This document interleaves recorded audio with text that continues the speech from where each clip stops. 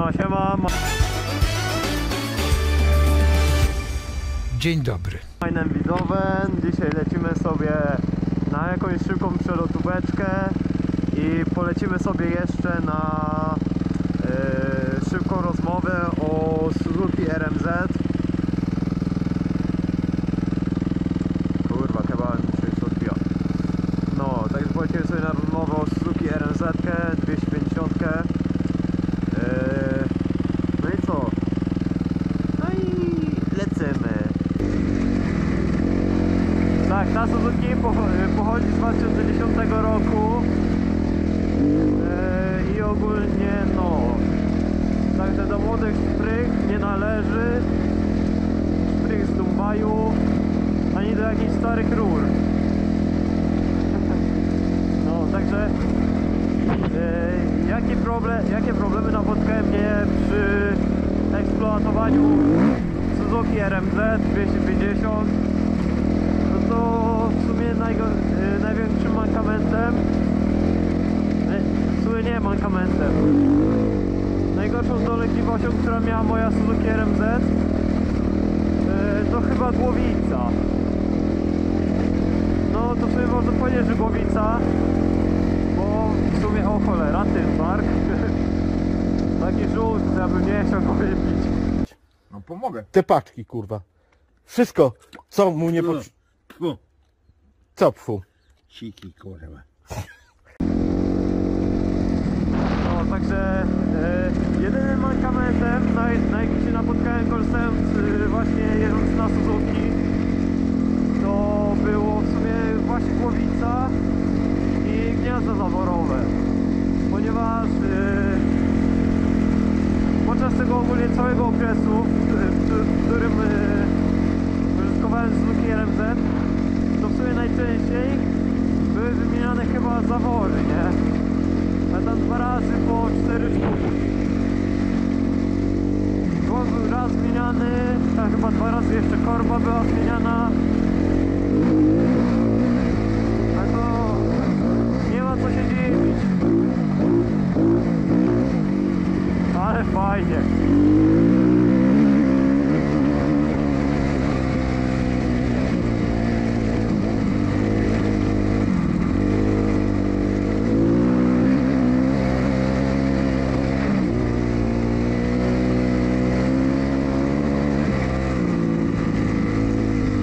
No, ogólnie to polecimy sobie na jedną miejscóweczkę.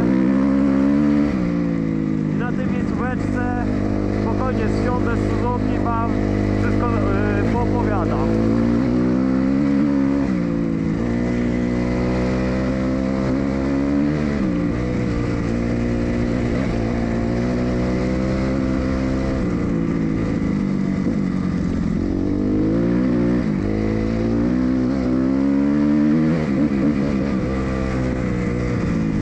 A i ogólnie jak możecie zobaczyć Wlepy od Podlewskiego siedzą Bam oraz od Krzysiu Enduro.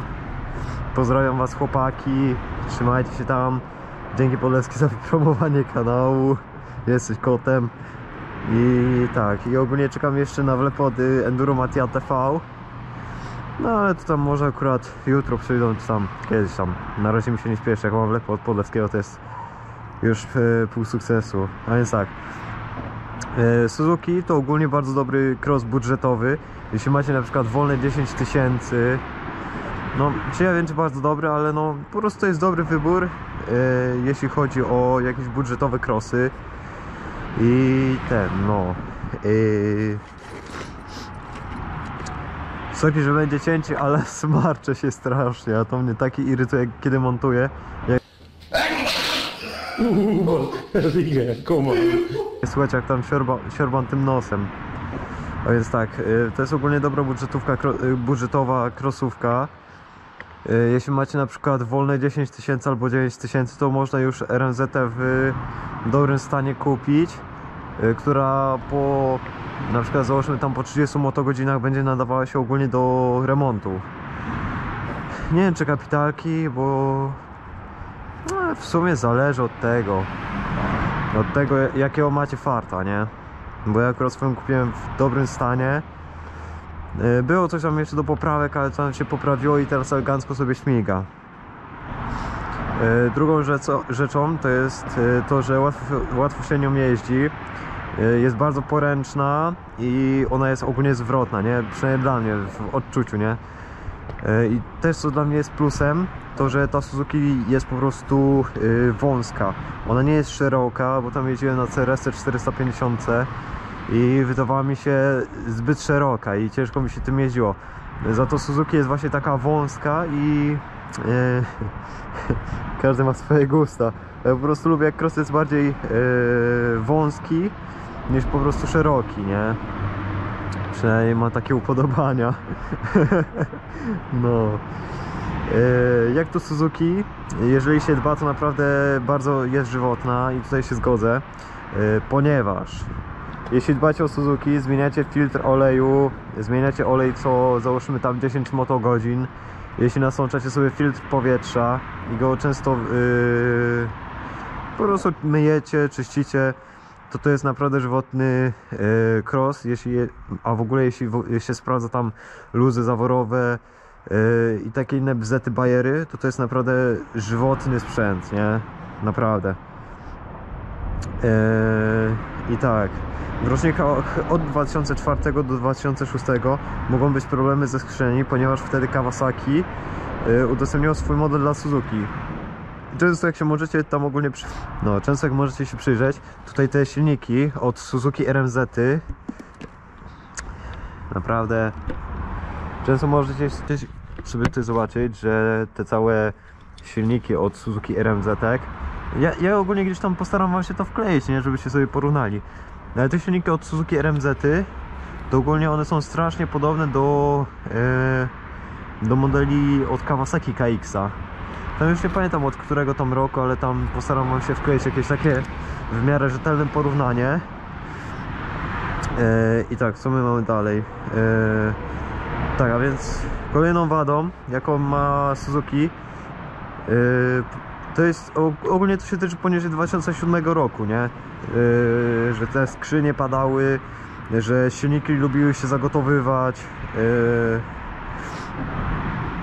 Ogólnie moim zdaniem to najlepiej RMZ kupować od y, 2007 wzwyż, ponieważ y, od tego 2007 to już tam Suzuki postanowiło mm, w miarę się ogarnąć i samo w miarę usamodzielnić.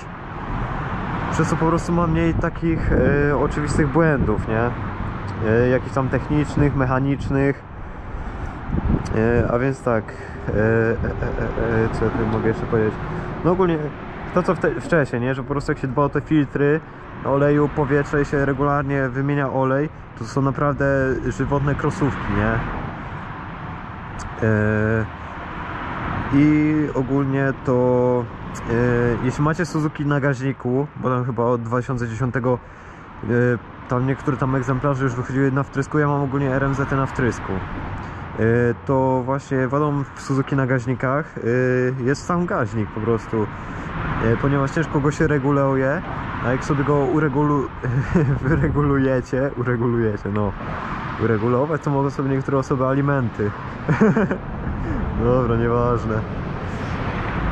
No, ale jeśli sobie wyregule... wyregulujecie, kurwa, trudne słowo, wyregulujecie gaźnik, to mam ogólnie znajomego, y, który też miał RMZ-kę, a po prostu co chwilę musiał ze śrubokrętem latać i tam regulować ten gazik.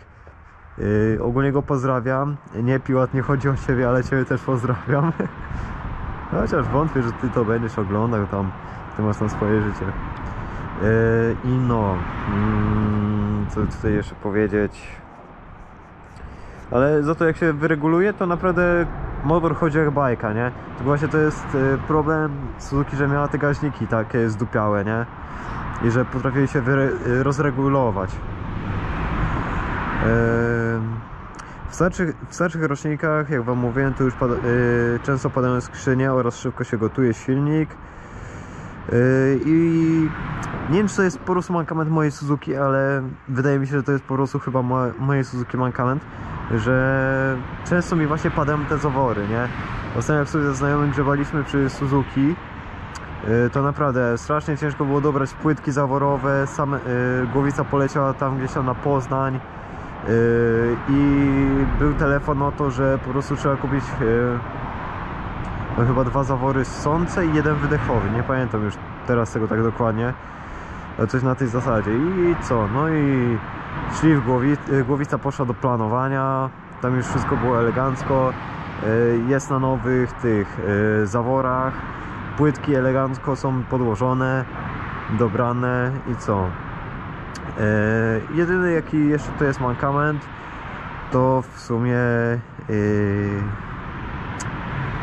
kurczę, no chy- chyba to wszystko, nie? No. Yy, jednym plusem jest, że no w sumie jak w każdych czteropakach to jest w miarę oszczędna, oszczędne spalanie paliwa. Ponieważ na Suzuki potrafiłem niekiedy zrobić dwa, no dwa takie nawet yy, duże wyjazdy. I jeszcze tam mi starczyło gdzieś tam paliwa, aby gdzieś yy, sobie pojeździć koło domu czy coś, nie? Ale głównie tam. Y, Dwa takie, do, dwa takie nie za duże, ale też nie za małe. Takie dwa średnie wyjazdy. I jeszcze miałem na przykład wachę, aby pojechać sobie y, na stację, kupić sobie wachę i wrócić, nie? O, bus. To co ja wam mówiłem na tym filmiku, to co się tyczy roczniku 2007, poniżej 2007 roku. Z 2010 rokiem i z wyższym rokiem niż 2010 to no tak jakby po prostu ani mi skrzynia nie pada, ani, ani, ani żaden gaźnik nie przeszkadza, bo jest na wtrysku. I co? I myślę, że będziemy kończyć. Także jeśli Wam się spodobało, możecie zostawić łapeczkę, subika, dzwoneczek, napisać e, następny pomysł jaki chcecie, zobaczcie u mnie na kanale w komentarzu. Ja przyznę Wam serduszko. E, I co mogę powiedzieć? No co, no dzięki ogólnie za 82 subskrypcje. To jest elegancki wynik, jaki zrobiliśmy w miesiąc. Yy, Bez, bez takiego wybijania się, a jeśli tutaj chodzi o wybijanie się, jeszcze raz dzięki Podlewski za wspomnienie o mnie na live. I co? A i jeszcze Maciej Enduro ATV, chciałem Ciebie pozdrowić za to, że elegancko mnie wybiłeś. Dzięki chłopaki, jesteście koty, nie? No, także będziemy już kończyć. Także siemano. Bang!